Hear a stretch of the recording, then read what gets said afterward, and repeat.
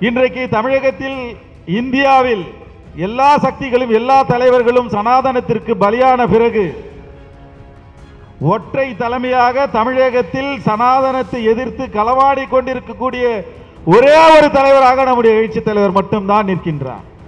புரட்சியாளர் அம்பேத்கர் ஆயிரத்தி தொள்ளாயிரத்தி நாற்பத்தி நான்கிலே என்ன விதமான மன உளைச்சலோடு இருந்தாரோ அதைவிட கூடுதலான மன உளைச்சலோடு புரட்சி த- அண்ணன் எழுச்சி தலைவர்கள் இருப்பதை நான் உணர்ந்து கொண்டேன்.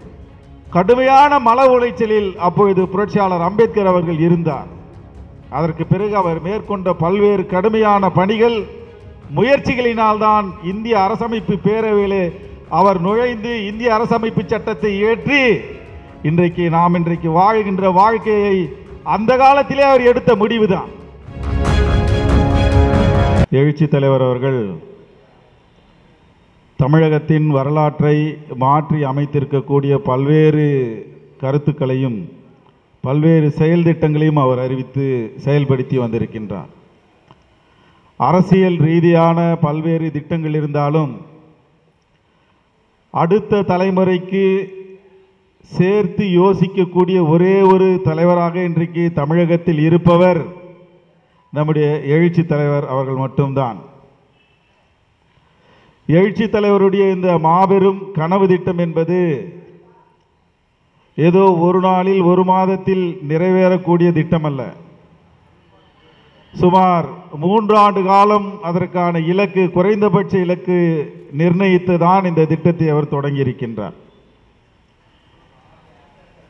குறிப்பாக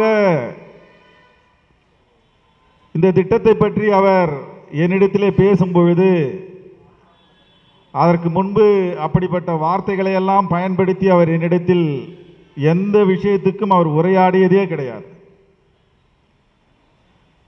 அண்ணன் இளமாறன் அவர்களே அன்றைக்கு நடந்த அந்த உரையாடலுக்கு சாட்சி.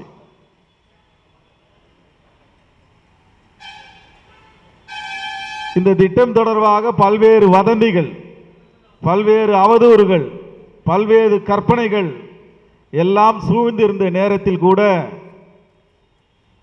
தனிப்பட்ட முறையில் என் மீது சில விமர்சனங்கள் வைக்கப்பட்டிருந்த போது கூட என்னை அழைத்து தலைவர் அவர்கள் சொன்னார். பொதுவெளியிலே அதை சொல்லக்கூடாதுதான். ஆனால் கட்சி பொறுப்பாளர்கள் அதை புரிந்து கொள்ள வேண்டும். தலைவருடைய எண்ண ஓட்டம் எப்படி இருக்கிறது? தொலைநோக்கோடு ஒரு தீர்க்க தரிசனத்தோடு இந்த மக்களை பற்றி எப்படி அவர் சிந்திக்கிறார் என்பதை பற்றி புரிந்து கொள்வதற்காக அதை நான் வெளிப்படையாக சொல்ல வேண்டும் என்று நான் விரும்புகின்றேன்.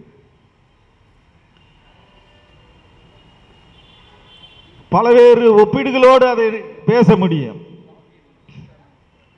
ஆயிரத்தி தொள்ளாயிரத்தி நாற்பத்தி ரெண்டுக்கு பிறகு இந்தியாவினுடைய வைஸ்ராய் அவையிலிருந்து புரட்சியாளர் அம்பேத்கர் அவர்கள் வெளியே வந்த பிறகு இரண்டாம் முறையாக அமைக்கப்பட்ட அமைச்சரவையிலே அவருக்கு இடமளிக்கப்படவில்லை. ஏன் இடமளிக்கப்படவில்லை என்றால் இப்பொழுதுதான் அதற்கான ரகசியங்கள் எல்லாம் இப்போது வெளியே வர ஆரம்பித்திருக்கின்றது.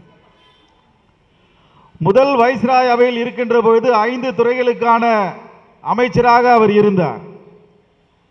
நமக்கெல்லாம் தொழிலாளர் துறை அமைச்சராக இருந்தார் என்று தெரியும். ஆனால் ஐந்து துறைகளை அவர் சேர்த்து கவனித்துக் கொண்டிருந்தார்.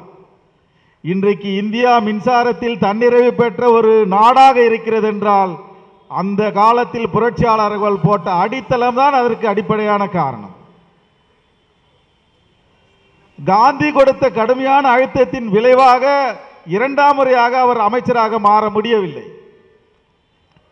இரண்டாம் முறைதான் அவர் அமைச்சராக ஆகியிருக்க வேண்டும். அதற்கு பிறகு அடுத்த இரண்டு ஆண்டுகள் இந்தியாவின் தலையெழுத்தே மாறி போனது இந்தியாவிற்கு சுதந்திரத்தை அளிக்க வேண்டும் என்று பிரிட்டிஷ்காரர்கள் முடிவெடுத்து விட்டார்கள். அந்த குழுக்களிலே எந்த இடத்திலேயும் அம்பேத்கருக்கு இடமே வழங்கப்படவில்லை.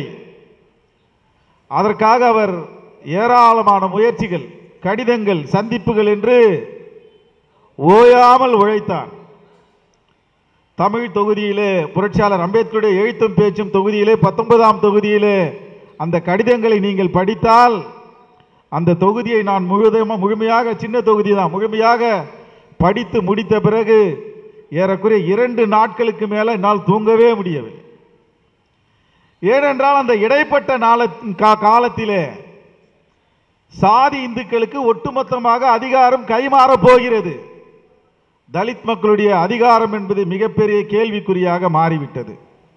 அதிகாரம் கிடைக்குமா கிடைக்காதா என்கின்ற கடுமையான மல உளைச்சலில் அப்பொழுது புரட்சியாளர் அம்பேத்கர் அவர்கள் இருந்தார். அதற்கு பிறகு அவர் மேற்கொண்ட பல்வேறு கடுமையான பணிகள் முயற்சிகளினால்தான் இந்திய அரசமைப்பு பேரவையிலே அவர் நுழைந்து இந்திய அரசமைப்பு சட்டத்தை ஏற்றி இன்றைக்கு நாம் இன்றைக்கு வாழ்கின்ற வாழ்க்கையை அந்த காலத்திலே அவர் எடுத்த முடிவுதான். அந்த மன உளைச்சலை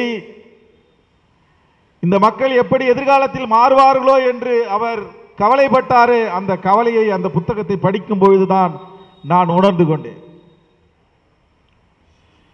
இன்றைக்கு தமிழகத்தில் இந்தியாவில் எல்லா சக்திகளும் எல்லா தலைவர்களும் சனாதனத்திற்கு பலியான பிறகு ஒற்றை தலைமையாக தமிழகத்தில் சனாதனத்தை எதிர்த்து களவாடி கொண்டிருக்கக்கூடிய ஒரே ஒரு தலைவராக நம்முடைய எழுச்சி தலைவர் மட்டும்தான் நிற்கின்றார்.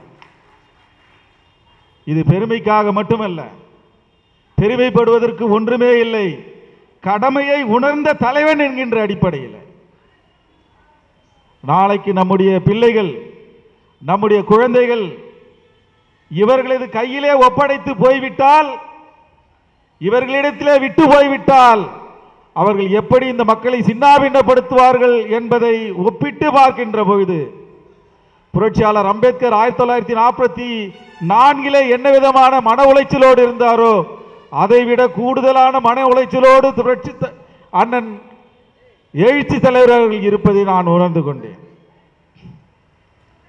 என்னிடத்திலே அப்பொழுது சொன்னார் உங்களை பற்றி எவ்வளவு அவதூறு வந்தாலும் நீங்கள் கலங்கக்கூடாது பின்வாங்கக்கூடாது. நான் இறப்பதற்குள் இந்த மக்களுக்கு ஒரு விஷயத்தை செய்தேன் என்று இருந்தால் இந்த ஊர்தோறும் அம்பேத்கர் படிப்பகம் திட்டத்தை செயல்படுத்தியதாக இருக்க வேண்டும் என்று சொன்னார். அண்ணன் இளமாறன் அவர்கள் அப்பொழுது அருகே இருந்தால் உண்மையிலேயே அந்த வார்த்தையை கேட்டு நான் கலங்கி போய்விட்டேன்.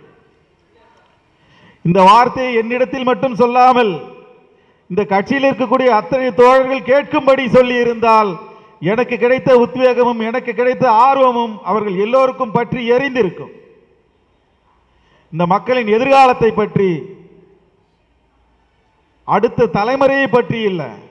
அடுத்த நூறு ஆண்டுகளுக்கு இந்த மக்களுடைய வாழ்க்கை எப்படி இருக்க வேண்டும் என்பதை சிந்திக்கும் இடமாக ஒருங்கிணைக்கும் இடமாக ஒவ்வொரு கிராமத்திலும் அமைக்கப்படுகின்ற அம்பேத்கர் படிப்பகங்கள் இருக்க வேண்டும் என்கின்ற ஒரு மாபெரும் கனவு அது.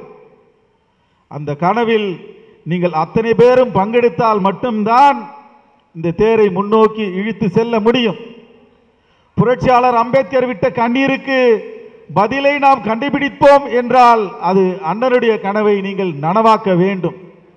தனிப்பட்ட ஒருவரின் முயற்சி அல்ல எழுச்சி தலைவன் கனவு என்பது இந்த சமூகத்தின் கனவு. இந்த சமூகத்தின் கனவு என்பது ஒட்டுமொத்த இந்தியாவத்தை ஜனநாயகப்படுத்துவதற்கான கனவு. அந்த கனவிலே நீங்கள் அத்தனை பேரும் பங்கெடுக்க வேண்டும் என்று கேட்டு நீங்கள் அனைவரும் இந்த திட்டத்தில் சேர்ந்து இயங்க வேண்டும் என்று கேட்டு நிறைவு செய்கின்றேன். நன்றி வணக்கம்.